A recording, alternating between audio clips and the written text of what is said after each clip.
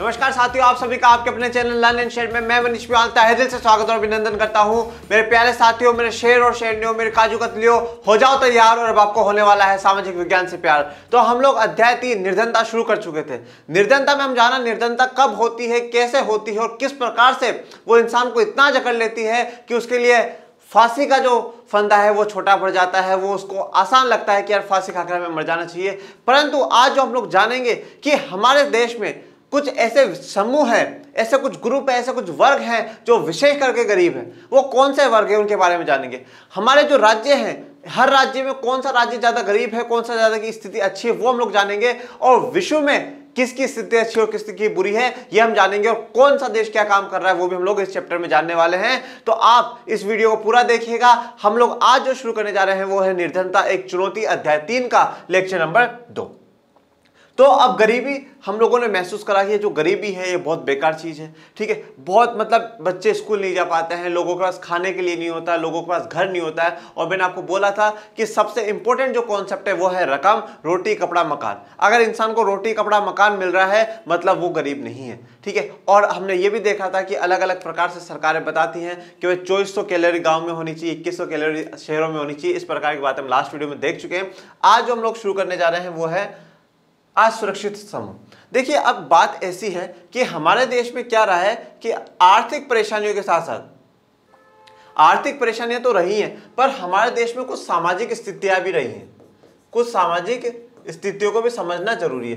भाई, हम आज़ादी से पहले एक बहुत बड़े वर्ग को पढ़ने का, लिखने का बोलने का अधिकार तक भी नहीं था, ठीक है? जिसे हम लोग दलित समाज कहते हैं, पिछड़ी जातियाँ कहते हैं, ठीक है? महिलाएँ हैं, उन लोगों को पढ़ने, लिखने का, बोलने का इनका अधिकार नहीं था। और बहुत बुरी दयनीय स्थिति पर थे। मतलब उनकी स्थिति बहुत बेकार थी, बहुत ज़्यादा ज़ोर जुलम उन पर करा जाता था, अत्याचार उन पर करा जाता था।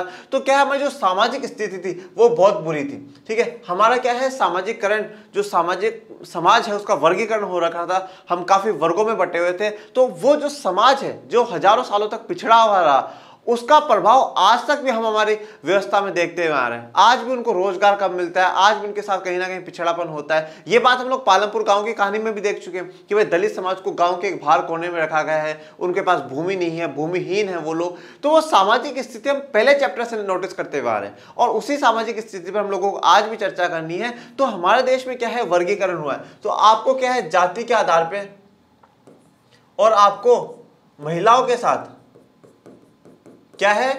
थोड़ा सा भेदभाव देखने को मिलेगा। उसके अलावा क्या होगा कि भाई आपको जो ग्रामीण क्षेत्र के जो मजदूर है, उनके साथ भी क्या है?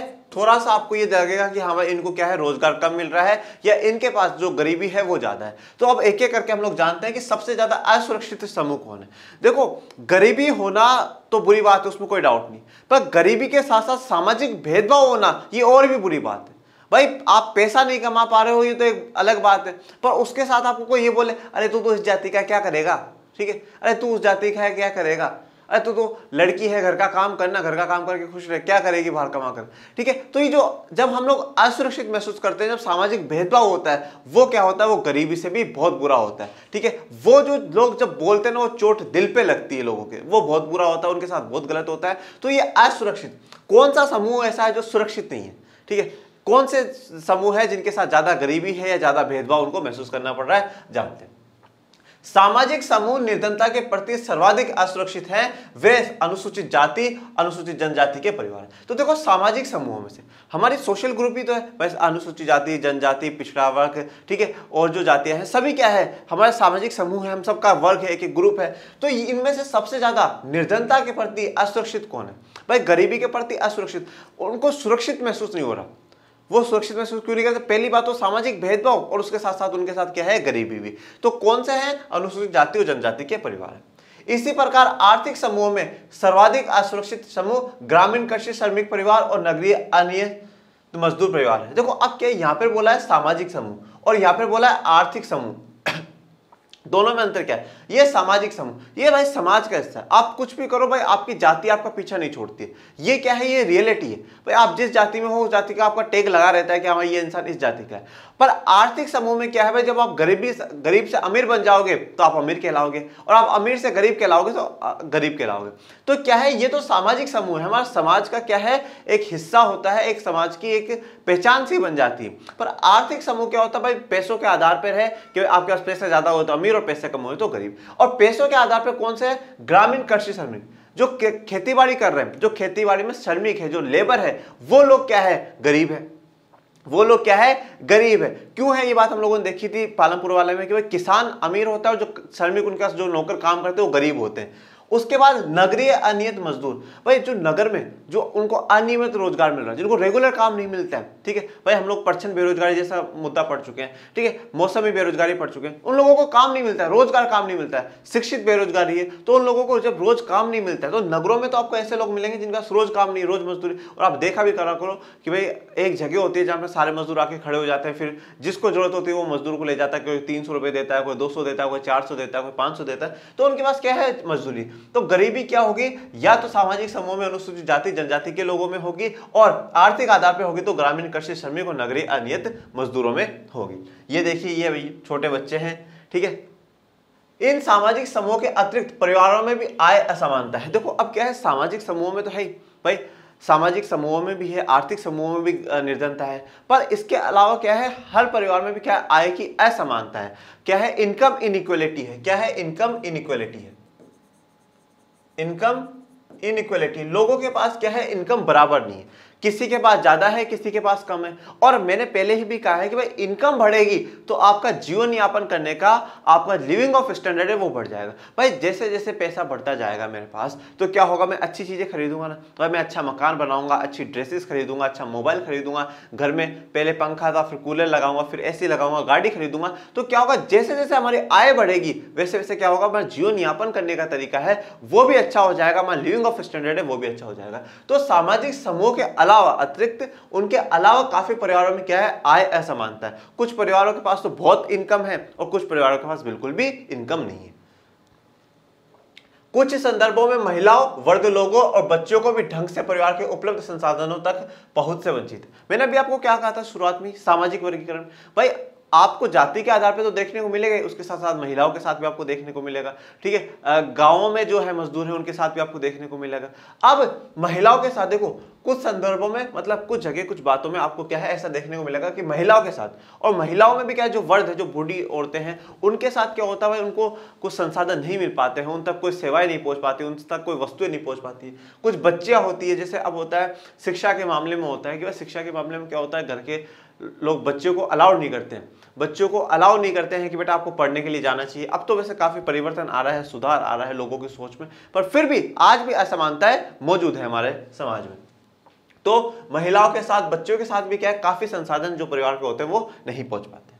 अब ये आपकी एनसीआरटी में क्या है, एक चार्ट दिया हुआ है। इस चार्ट को थोड़ा सा हम लोग समझ लेते हैं। इस चार्ट में क्या बताया गया है कि भाई सबसे ज़्यादा कौन सा सामाजिक समूह गरीबी को देखता है? इसमें यह बताया गया, इस वर्ग में प्रति सौ पुरुष से निर्धनता की संख्या कितनी है?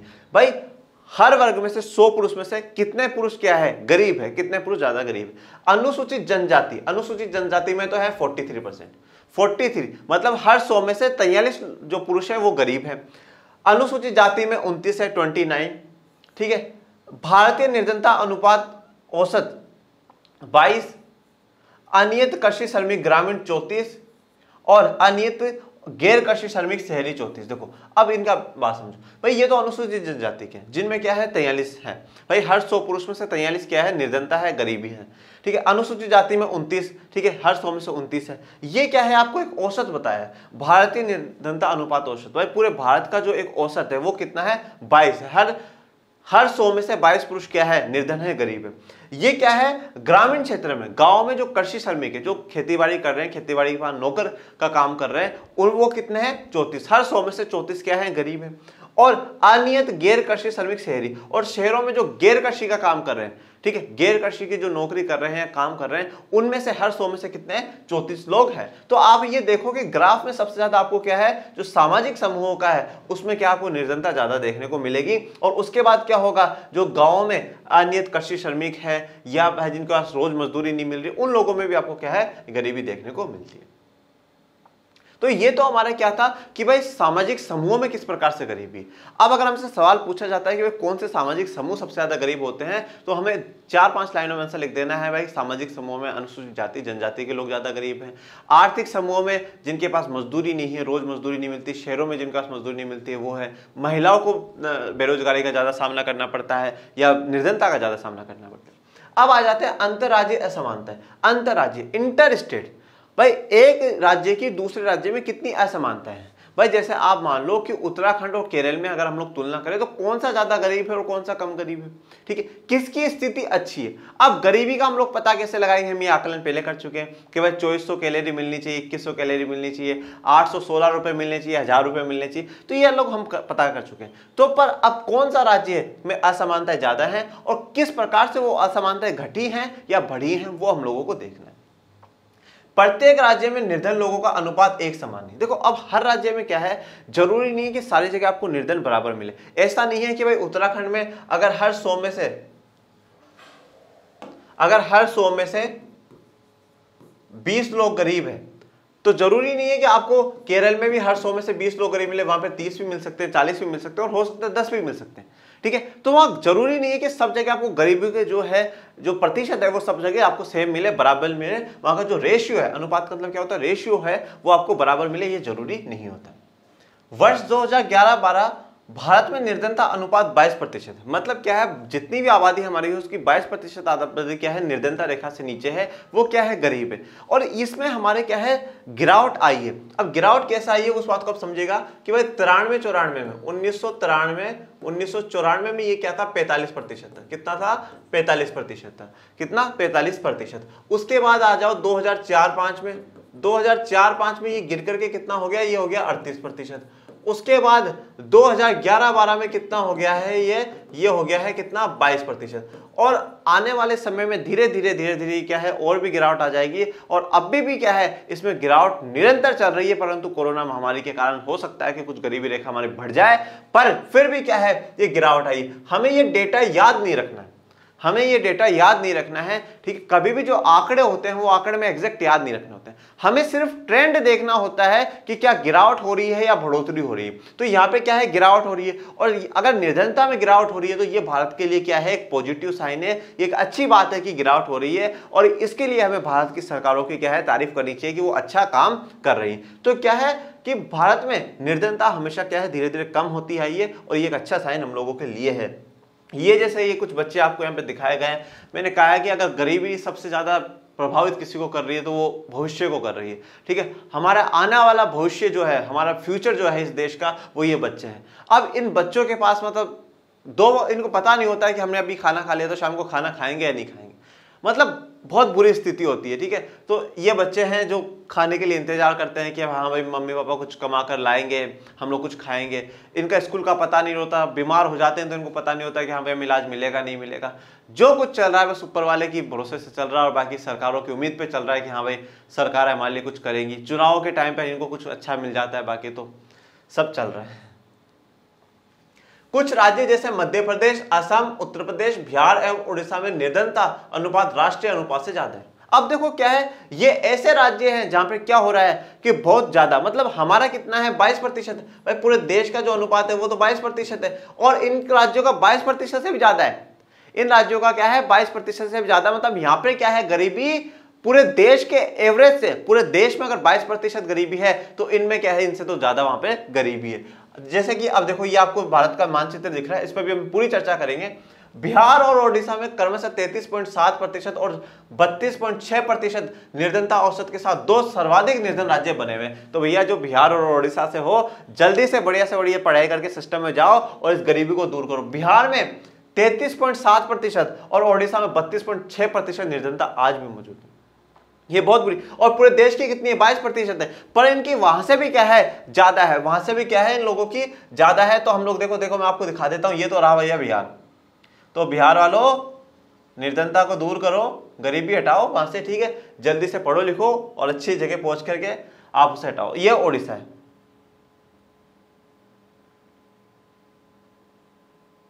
ये ओडिशा। ओडिशा का तो मतलब मैं पर्सनली खुद कहता हूँ कि मैं ओडिशा गया हुआ हूँ। और जब मैं ओडिशा वहाँ जाकर के देखा ना, सच में आपको एक तो विकास है ना, जो डेवलपमेंट है, वो भी आपको नहीं देखने को मिलेगा। मतलब नेशनल हाईवे पर आपको दुकानें देखने को नहीं मिलती है, ठीक है? उसके अलावा वहाँ पर क्या है, हर चीज़, काफ़ी चीज़ सस्ती भी है। सस्ती इसलिए क्योंकि लोग गरीब हैं और गरीब है तो कोई चीज़ खरीद नहीं पाते। और वहाँ के काफ़ी लोग बिहार के, उड़ीसा के इस साइड में मतलब क्या है, पश्चिमी साइड में राजस्थान हो गया, गुजरात हो गया, इस साइड में आकर के काम करते हैं और अच्छा पैसा कमाकर वहाँ ले जाते हैं और वहाँ पे चीज़ें सस्ती में खरीद लेते हैं। वहाँ पे लोग आज भी साइकिल का काफ़ी यूज़ करते हैं, ये एक बहुत अच्छी बात है। पर पर वो क्या है, वो गरीबी को दर्शाता है कि भाई वहाँ पे क्या है, लोग बहुत गरीब है। मतलब मैंने पर्सनली उस चीज़ को वहाँ पर उड़ीसा में तो देखा है, कभी बिहार तो मेरा जाना नहीं हुआ, पर उड़ीसा तो मैंने उस बात को देखा है। सच में वो राज्य काफ़ी गरीबी रेखा में। इसकी तुलना में केरल, महाराष्ट्र आंध्र प्रदेश तमिलनाडु, गुजरात और पश्चिम बंगाल में निर्धनता में उल्लेखनीय गिरावट आई है। पर क्या है? भाई, केरल में महाराष्ट्र आंध्र प्रदेश तमिलनाडु, गुजरात और पश्चिम बंगाल, इन राज्यों को सबको अपन एक बार मैप पर देख लेते हैं। देखो, ये तो रहा केरल। ये रहा केरल, यहाँ पर भी क्या है गिरावट आई है। इसके पास में है महाराष्ट्र। महाराष्ट्र में भी क्या है अच्छी गिरावट आई है। उसके बाद इन्होंने बोला आंध्र प्रदेश तो ये रहा आंध्र प्रदेश उसके बाद है, इसने बोला, भाई, तमिलनाडु तो ये रहा, तमिलनाडु हमारा। आपको दिमाग में बातों को रखना है सिर्फ़। ये गुजरात। और ये है पश्चिम बंगाल। पश्चिम बंगाल में स्थिति सुधरी है, पर फिर भी जो गरीब ही है, वहाँ पे पश्चिम बंगाल में है। मतलब इन सभी राज्यों में क्या स्थिति सुधरी पर गरीबी अभी भी क्या है, मौजूद है। ओडिशा की एक अच्छी बात अभी आपको बताता हूँ, ओडिशा सरकार की जो अच्छी बात है, वो अब भी है। अब भी क्या है, आप सबको है, ओलंपिक चल रहे हैं। ठीक है? सबको पता है टोक्यो ओलंपिक चल रहा है। टोक्यो ओलंपिक में हॉकी की जो टीम है, हमारे पुरुष की और महिलाओं की जो हॉकी टीम है, उनको जो स्पॉन्सर्ड कराया ना, वो ओडिशा सरकार ने कराया। ये बहुत बड़ी बात है। और ये बहुत अच्छी बात है कि सरकार ऐसा कदम उठा रही नहीं तो हमेशा क्या होता है, कोई बड़ी कंपनी या कोई बड़े फ्रेंचाइजी क्या स्पॉन्सर करते हैं और उनकी क्या है, कंपनियों के नाम लिखे होते हैं टी शर्ट्स पे, उन पर पर इस बार जो करा है, वो ओडिशा सरकार ने करा है और जब अभी टीम में जीती तो मतलब वहाँ के जो मुख्यमंत्री नवीन पटनायक साहब ने मतलब खड़े होकर उनका हौसलावर्धन करा, ये बहुत बढ़िया बात है। तो मतलब इस चीज़ से एक बात ये भी समझ में आती है, चाहे गरीब हो, पर दिल बड़ा होना चाहिए। तो ओडिशा सरकार के लिए इस चीज़ के लिए तो मैं उनका बहुत धन्यवाद कहता हूँ कि उन्होंने एक बहुत अच्छा काम करा। तो इसलिए तो ओडिशा वाला बधाई के पात्र रहो। पंजाब और हरियाणा जैसे राज्य उच्च कृषि वृद्धि दर से निर्धनता कम करने में पारंपरिक रूप से सफल रहे, केरल ने मानव संसाधन विकास पर अधिक ध्यान दिया। देखो अब क्या हुआ, पंजाब और हरियाणा। तो भाई पंजाब और हरियाणा को भी देख लो, नहीं तो आप पंजाब हरियाणा वाले नाराज़ हो जाओगे कि भाई मनीष सर ने पंजाब और हरियाणा के बारे में हमें नहीं बताया। ये देखिए, ये रहा पंजाब और यहाँ पर है हरियाणा। अब ये इन दोनों जगह पे क्या हुआ है? इन दोनों जगह पे कृषि के कारण, खेती के कारण क्या हुआ? ज़्यादा विकसित हुआ हम लोग जाने थे हरित क्रांति कहाँ पर आई है? पंजाब, हरियाणा, पश्चिमी उत्तर प्रदेश। इन जगहों पे सबसे पहले हुई है। और इन जगहों पर होने से क्या है? कृषि बहुत अच्छी हुई है वहाँ पर और कृषि अच्छी होने से उत्पादन हुआ और उत्पादन होने से उन्होंने काफ़ी क्या है? पैसा कमाया और निर्धनता को क्या है? दूर कराया। रोज़गार के अवसर क्या है? सर्जन करे। तो ये बहुत अच्छी बात है। इन्होंने तो ऐसे दूर कर ली। केरल ने क्या करा? केरल ने मानव संसाधन पे अब मानव संसाधन भी हम लोग पढ़ के आ चुके हैं। वहाँ के लोगों की शिक्षा पे, स्वास्थ्य पे हम लोगों ने देखा था, हरियाणा में क्या है? शिशु मृत्यु दर ये बहुत ज़्यादा पर केरल में बहुत कम है। तो केरल ने क्या मानव संसाधन पे विकास करके के मानव संसाधन पे काम करके वहाँ के लोगों को अच्छी शिक्षा अच्छा स्वास्थ्य दे करके क्या है? विकास कराया, गरीबी को दूर कराया। तो हर राज्य अपनी अपनी तरफ़ से कोशिश कर रहा है, परंतु मैंने बार बार एक ही बात कहता हूँ कि हमने सत्तर बेहतर सालों में बहुत कुछ अचीव करा है, पर अभी बहुत कुछ करना हमारे लिए बाकी है। पश्चिम बंगाल में भूमि सुधार उपायों से निर्धनता कम करने में सहायता मिली। अब क्या हुआ? पश्चिम बंगाल में क्या करा है भूमि में सुधार करा गया। ठीक है? लैंड रिफॉर्म किया गया। अब आप पूछो, सर, इसमें क्या करा गया? देखो तो हमने देखा था भाई, सबके पास भूमि असमान वितरित होती है। तो सरकार कुछ ऐसा कानून बनाती है, भाई, इतनी भूमि आपके पास होनी चाहिए, इस भूमि पर ऐसा होना चाहिए। तो वहाँ पर क्या भूमि सुधार करके लोगों को रोज़गार प्रोवाइड कराने की सरकार ने कोशिश करी जिससे कि गरीबी दूर आंध्र प्रदेश और तमिलनाडु में अनाज का सार्वजनिक वितरण इसमें सुधार का कारण हो सकता है। अब हम लोग सार्वजनिक वितरण प्रणाली पढ़ चुके हैं। पीडीएस पब्लिक डिस्ट्रीब्यूशन सिस्टम भाई सरकार क्या होता है? राशन की दुकानों पे बेचती है। और अगर आपने नहीं भी पढ़ा हो तो अभी सुन लीजिएगा। सार्वजनिक वितरण प्रणाली, इसे इंग्लिश में कहते हैं public distribution system public distribution system public distribution system English में से कहा जाता है पीडीएस शॉर्ट में। देखो, ये क्या होता है? सार्वजनिक वितरण प्रणाली क्या होती है? आपने कभी सुना होगा, गरीबों को सरकार दो रुपए के लिए गेहूँ में दे रही है, एक किलो रुपए चावल दे रही है पाँच रुपए में तेल दे रही है। ये सब क्या है? ये सार्वजनिक वितरण प्रणाली के तहत ही है। पीडीएस के तहत ही, पब्लिक डिस्ट्रीब्यूशन सिस्टम के तहत ही है कि भाई जो गरीब लोगों को क्या है? बांटा जाए। सार्वजनिक, सबके लिए क्या हो? वितरण करा जाए, उन्हें डिस्ट्रीब्यूट कर दिया जाए, जो भी है, उनको, वहाँ पर करा जाए। तो आंध्र प्रदेश, तमिलनाडु की सरकारों ने क्या करा? अनाज को वितरित करा है। उन लोगों तक वितरित करा जिन तक पहुँच नहीं पा रहा था, उन सबको सरकार ने पहुँचाया। ये देखो, ये क्या है हमारे पास? पूरे हर राज्य की एक छोटी सी टेबल है, उसमें बताया है कौन से राज्य में कितनी है। तो अब यहाँ से देखो, हम गिरावट की तरफ़ दिख रहे हैं।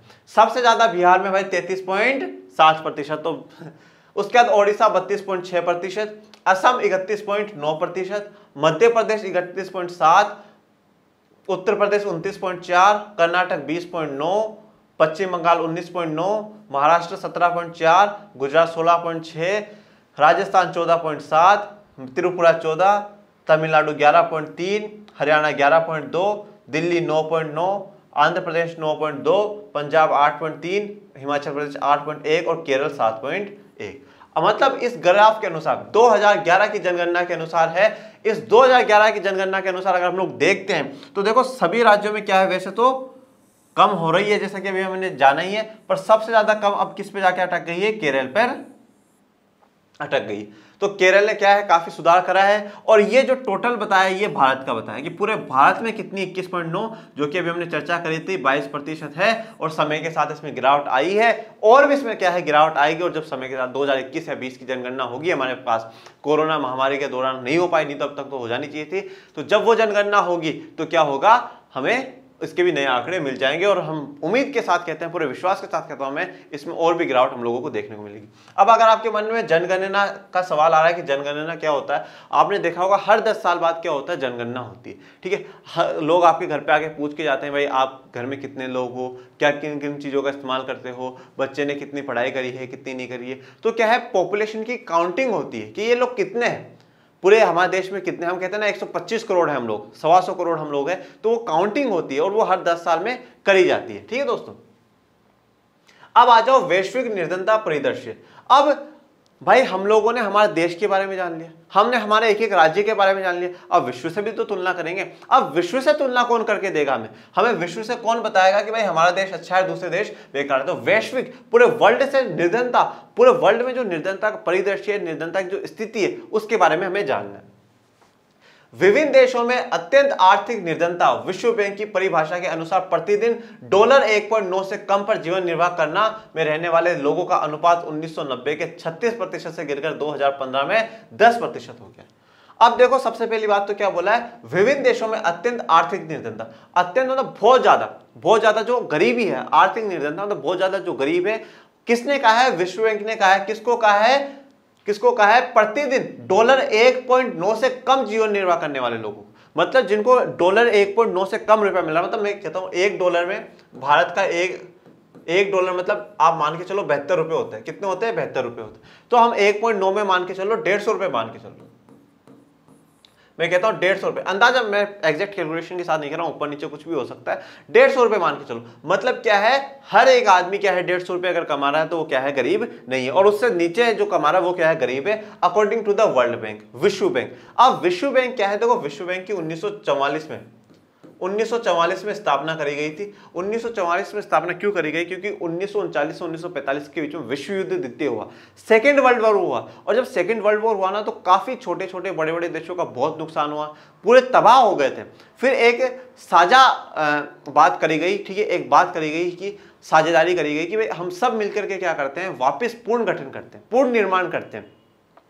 जो देश बिल्कुल तहस नहस हो चुके हैं, उनका पूर्ण निर्माण करते हैं। हम आर्थिक मदद करेंगे देशों की। तो अब भी वन 92 के अराउंड एक सौ देश क्या है? विश्व बैंक के आज मौजूदा स्थिति में क्या है? मेंबर्स है और वहाँ से विश्व बैंक क्या करता है? इनको लोन देता है, उधार देता है, जिससे कि आप अपने देश में अच्छे अच्छे काम करवा सकते हो बढ़िया बढ़िया सड़कें बनवा सकते हो, अच्छी स्कूलें हॉस्पिटल खोल सकते हो। तो विश्व बैंक आपको क्या है? आपको मतलब देश को पैसा देता है, देश की सरकार को पैसा देता है। ऐसा नहीं कभी आप उठ के चले जाओ, चलो, अब आप पूछोगे इसका हेडक्वार्टर कहाँ है? सर, पैसे लेने के लिए हमें कहाँ जाना पड़ेगा? तो हेडक्वार्टर तो आपको अमेरिका में मिलेगा। अमेरिका में मिलेगा वॉशिंगटन डीसी में। ठीक है? तो पर ये आपको पैसा नहीं देगा, मुझे पैसा नहीं देगा। हाँ पर सरकार को ज़रूर पैसा देगा। तो इन्होंने बोला, डॉलर 1.9 से जो भी कम कमा रहे हैं, वो क्या है? गरीब है। अब 1990 में तो ये 36 प्रतिशत था। और 2015 में 10 प्रतिशत हो गया। मतलब पूरे दुनिया में भी क्या आई है? 26 प्रतिशत की जो है, वो गरीबी में गिरावट आई है और ये पूरी दुनिया के लिए क्या है, एक अच्छा कदम है अच्छा साइन है कि लोग क्या है, धीरे धीरे धीरे धीरे गरीबी रेखा से बाहर आ रहे हैं, ये बढ़िया बात है, पर कोरोना महामारी ने फिर से लोगों को गरीबी की रेखा में जकड़ लिया है। तो ये क्या है, एक बैंक है, आपको दिखाया गया है बैंक तो यह हमारा वर्ल्ड बैंक के लिए मैंने आपको दिखाया। तीव्र आर्थिक प्रगति और मानव संसाधन विकास में वृत निवेश के कारण चीन और एशिया के देशों में निर्धनता में विशेष कमी आई है। देखो, तीव्र आर्थिक प्रगति मतलब क्या है? प्रगति करी है। प्रोग्रेस उन लोगों ने क्या रही है? ठीक है तो ज़्यादा आर्थिक प्रगति होने के कारण और मानव संसाधन विकास मतलब मानव का विकास करा उन्होंने। मानव को पूंजी बनाया है, बोझ समझकर उनको नहीं पाला। क्या है? पूंजी बना करके उनका काम करा है। वृत्त निवेश वृत्त मतलब बाहर से निवेश जो है। जिसे हम लोग क्या है? एफडीआई हम लोग पढ़ते हैं, विदेश निवेश हमने पढ़ते हैं, हमने जीडीपी के बारे में पढ़ा था, ठीक है सेकंड चैप्टर में। तो उसमें हमने आपको बताया था विदेशी निवेश। तो जो बाहर से जो हमारे पास निवेश आ रहा है, उसके कारण चीन और एशिया के देशों में निर्धनता में विशेष कमी आई। चीन को तो आप जानते ही हो, ठीक है, कौन नहीं जानता है और एशिया क्या है? एशिया सात महाद्वीपों में से एक महाद्वीप है, जिसमें से क्या है? हमारा भारत भी एशिया में ही आता है। तो ये आपको क्या है? ये आपको एशिया का चित्र दिखाया गया है, और इसमें मेरा भारत कहाँ पर है मेरे विद्यार्थियों? मेरा भारत ये रहा भैया। मेरा भारत तो ये रहा दुनिया में सबसे महान कौन सा देश है भैया? मेरा भारत सबसे महान। मेरा भारत सबसे महान है भैया। इससे महान कोई भी नहीं है। तो सबसे महान कौन सा है? हमारा देश भारत है। तो ये भारत है यहाँ पे, ठीक है? और यहाँ पे तो ये तो भैया आपको चीन तो दिख ही रहा होगा ब्लू ब्लू में पूरा चीन दिख रहा होगा। दक्षिण एशिया के देशों, भारत, पाकिस्तान, श्रीलंका, नेपाल, बांग्लादेश, भूटान में निर्धनों की संख्या में गिरावट इतनी तीव्र रही है। मतलब बहुत अच्छी तरीके से क्या है, भारत में भी देखो, हमने भारत में भी तो अभी नोटिस करा था। भाई, भारत में पहले तो क्या था? पैंतालीस प्रतिशत, फिर अड़तीस प्रतिशत, फिर बाईस प्रतिशत मतलब गिरावट देखो ना तो तीव्र तरीके से, बहुत तेज स्पीड से क्या है, गरीबी में क्या है, गिरावट आई है दक्षिण एशिया के। भाई ये पूरा जो एशिया है, इसका ऊपरी वाला भाग उत्तरी और इसके निचले वाला भाग यहाँ से क्या हो जाएगा, दक्षिणी हो जाएगा। तो इसमें ये सारे पाकिस्तान, भारत, बांग्लादेश, म्यांमार, ये सब आ जाएँगे। भिन्न निर्धनता रेखा परिभाषा के कारण भारत में भी निर्धनता राष्ट्रीय अनुमान से अधिक है। देखो, अब भिन्न डिफरेंट भिन्न मतलब डिफरेंट अलग अलग निर्धनता रेखाओं के कारण। भाई, मैंने आपको बताया था, हर देश की, हर समय की, जगह की अलग अलग निर्धनता रेखा होती है। वो सब क्या है? भाई, अमेरिका कहता है, आपके पास गाड़ी नहीं है तो गरीब हो। और हम लोग कहते थे अरे भाई, गाड़ी है तो बहुत ज़्यादा अमीर हो आप तो। हमने क्या बोला था? आपके जूते हैं ये नहीं है? कपड़े हैं या नहीं है? खाने को सामान है या नहीं है? अगर नहीं है तो आप गरीब हो। और वो लोग कह रहे, गाड़ी नहीं है तो आप लोग क्या हो? गरीब हो। तो अलग अलग निर्धनता रेखा की परिभाषा के कारण भी क्या हो रहा है? भारत में भी निर्धनता राष्ट्रीय अनुमान से अधिक है। तो वहाँ पर भी क्या है? जो भारत में अनुमान है हमारा, उससे क्या थोड़ा सा अधिक है कि हम लोग ज़्यादा मान के चलते हैं कि इससे निर्धनता रेखा, इससे ज़्यादा कमाने वाला निर्धन नहीं होगा। अब ये क्या है? विश्व बैंक के द्वारा जारी करी गई एक लिस्ट है। उसमें बताया गया है कि प्रतिदिन डॉलर एक पॉइंट नौ से कम पाने वालों की संख्या कितनी है। भाई, नाइजीरिया में, नाइजीरिया तिरपन पॉइंट पाँच मतलब हर सौ लोगों में से आप मान लो कि तिरपन पॉइंट पाँच लोग क्या है, जो एक पॉइंट नौ डॉलर से कम कमा रहे हैं। बांग्लादेश में चौदह पॉइंट आठ, भारत में इक्कीस पॉइंट दो, ये साल बताए हुए हैं 2009 का 2016 का 11 15 15 15 17 16 ठीक है। पाकिस्तान में चार चीन में 0.7 ब्राज़ील में 3.4 इंडोनेशिया में 5.7 और श्रीलंका में 0.7 देखो, अब क्या है? भारत में 21.2 है। ये एक बहुत ताजुब वाली बात है कि भारत में 21.2 है, पर पाकिस्तान में चार है। ठीक है? पर पाकिस्तान की तो स्थिति और भी बुरी है। तो थोड़ा सा क्या है? आंकड़ों में ऊपर नीचे हो जाता है, पर हमें सिर्फ़ इतनी बात ध्यान रखनी है कि हमारे भारत की स्थिति में सुधार आया है, हमने गरीबी में गिरावट लाई है। अब आ जाते हैं, अब मेहनत करें और मज़बूत बने। ठीक है? तो अब हमें कुछ आपको सवाल है, उन सवालों के जवाब देने। भारत में निर्धनता में अंतरराज्यीय असमानताओं का एक विवरण प्रस्तुत कीजिए। तो भाई, अंतरराज्यीय समानताओं के बारे में आपको बताना है तो अभी तो पूरा पढ़ के आए हैं भैया।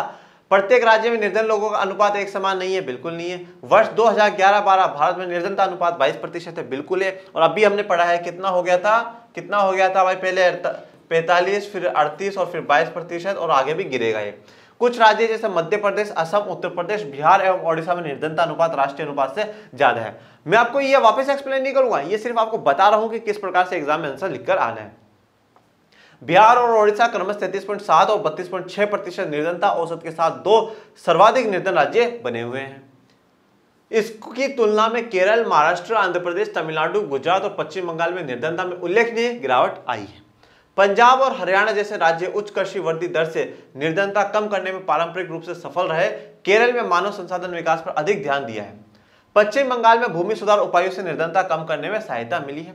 आंध्र प्रदेश और तमिलनाडु में अनाज का सार्वजनिक वितरण प्रणाली इसमें सुधार का कारण हो सकता सवाल नंबर दो, निर्धनता के संदर्भ में प्रमुख चुनौतियाँ क्या है? भाई, अब निर्धनता के निर्धनता की बात अगर हम लोग करते हैं तो इसके लिए हमारे पास सामने क्या क्या मुख्य चुनौतियाँ और वो चुनौतियों को कैसे सामना करना वो देखो। ग्रामीण और शहरी क्षेत्रों में और विभिन्न राज्यों में निर्धनता में व्यापक असमानता है। भाई, हमने बात देखी, ग्रामीणों में, गाँव में और शहरों में और अलग अलग राज्यों में क्या है? डिफरेंस है। गरीबी में डिफरेंस कहीं ज़्यादा है, कहीं कम है। आशा की जा रही है कि सरकार द्वारा किए गए निर्धनता विरोधी विभिन्न उपायों के कारण निर्धनता उन्मूलन में अगले 10 से 15 वर्षों में अधिक प्रगति होगी। अब क्या है भाई, हम अभी आगे पढ़ेंगे, सरकार ने कौन कौन से ऐसे काम चलाए हैं कौन कौन से ऐसे कार्यक्रम चलाए हैं, जिनसे कि निर्धनता को कम किया जाए। तो ये कह रहे हैं कि हमें आशा है, हमें उम्मीद है कि आने वाले दस पंद्रह सालों में क्या होगा, निर्धनता में ज़रूर गिरावट आएगी। क्यों? क्योंकि सरकार ने अच्छे कार्यक्रम चला रखे निर्धनता उन्मूलन। उन्मूलन मतलब खत्म कर देना। निर्धनता को खत्म करना हमेशा एक गतिशील लक्ष्य रहा। है हमारा एक प्रोग्रेसिव लक्ष्य रहा। है हम लोग गति, हमने गति स्पीड ही पकड़ी। ऐसा नहीं हो रहा कि भाई पहले निर्धन इतने ज़्यादा, इतने कम थे, अब ज़्यादा हो गए। नहीं, वो हमने गतिशील है। हमने गिरावट ही करी है वहाँ पर कि हमने गिराए ही है। और हम हमेशा क्या रहे आशावादी सोच की तरफ़ रहे कि हम गरीबी को खत्म करके ही रहेंगे। आशा है हम अगले दशक के। दशक मतलब दशक का मतलब एक दशक में दस साल होते हैं। ठीक है? के अंत तक सभी लोगों को आय के संदर्भ में न्यूनतम आवश्यक आय उपलब्ध करा सकेंगे। तो मतलब आशा है कि अगले दशक में मतलब हर अगले दस साल तक में हम लोग क्या कर पाएँगे? सभी लोगों तक क्या कर पाएँगे कि एक न्यूनतम आय, एक इतनी मिनिमम इनकम तो उनको दे पाएँगे जिससे कि उनका क्या हो, पालन पोषण अच्छे से हो सके, उनका जीवन यापन अच्छे से चल सके। सभी को स्वास्थ्य सेवा, शिक्षा और रोज़गार सुरक्षा उपलब्ध कराना, लैंगिक समता तथा निर्धन का सम्मान जैसी बड़ी चुनौतियाँ हमारे लक्ष्य होंगी। तो भाई क्या हो, सभी को स्वास्थ्य देना हमारे लिए चुनौती है। ठीक है, शिक्षा प्रोवाइड कराना, सबको रोज़गार देना और लैंगिक मतलब लिंग के आधार पर महिला पुरुष में समानता हो, निर्धनतों को सम्मान, उनको सम्मान दे रिस्पेक्ट मिले उनको समाज में, ऐसी बड़ी चुनौतियाँ हमारे सामने। जाति व्यवस्था, हम लोग पढ़ के आए क्योंकि असुरक्षित समूह में वो ज़्यादा जाति के समूह है जो क्या है, पिछड़े हुए हैं या सामाजिक रूप से पिछड़े हुए हैं। बाल मजदूरी का भी अस्तित्व भी हमें मिटाना होगा। और काफ़ी क्या होता है, जब कोई परिवार गरीब होता है तो छोटा बच्चा होता है, उसको भी काम पर भेज देते हैं, चल तू मेरे साथ काम पर चल वहाँ पर काम पर जा, वहाँ पर तुझे जितना पैसा मिलेगा, तीन सौ रुपये मिलेगा, घर में काम आएगा। तो बाल मजदूरी को, जाति व्यवस्था को, इनको मिटाना भी हमारा क्या है, उद्देश्य है कि भाई जाति व्यवस्था ना रहे, बाल मजदूरी हमारे देश में ना रहे। सवाल नंबर तीन, वैश्विक निर्धन की परिवर्तियों की चर्चा करें तो भैया अभी तो पढ़ के आए हैं। विभिन्न देशों में अत्यंत आर्थिक निर्धनता, विश्व बैंक की परिभाषा के अनुसार प्रतिदिन डॉलर 1.9 से कम पर जीवन निर्वाह करना में रहने वाले लोगों का अनुपात उन्नीस सौ नब्बे के अनुसार छत्तीस प्रतिशत से गिरकर दो हज़ार में दस प्रतिशत हो गया तीव्र आर्थिक प्रगति के कारण क्या हुआ? चीन और एशिया के देश उनमें, गिरावट आई गरीबी में।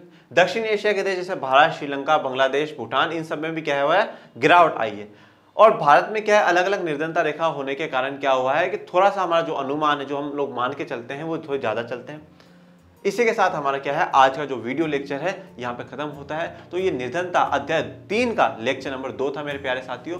इसमें आपको अगर किसी भी प्रकार की कोई भी प्रॉब्लम आई हो तो आप मुझसे कमेंट बॉक्स में ज़रूर पूछिएगा। और बाकी अच्छा लगा हो तो ताबड़तोड़ कमेंट कर दीजिएगा। सर कि अब हम हो चुके हैं तैयार, और हमें होने लगा है सामाजिक विज्ञान से प्यार। और मेरे बच्चों, मेरे आपसे निवेदन है कि कोरोना महामारी का प्रकोप अभी भी हमारे देश पर है, पूरी दुनिया पर है। इसलिए आप घरों से ना निकले, और जब जाए तो मास्क सैनिटाइजर को अपना दोस्त बना ले, अपना साथी बना ले, हमेशा साथ लेकर के जाए और घरों में रहें, सुरक्षित रहें और बाकी अपने परिवार, अपने चैनल लाइक लाने शेयर को लाइक करें शेयर करें सब्सक्राइब करें। Thank you so much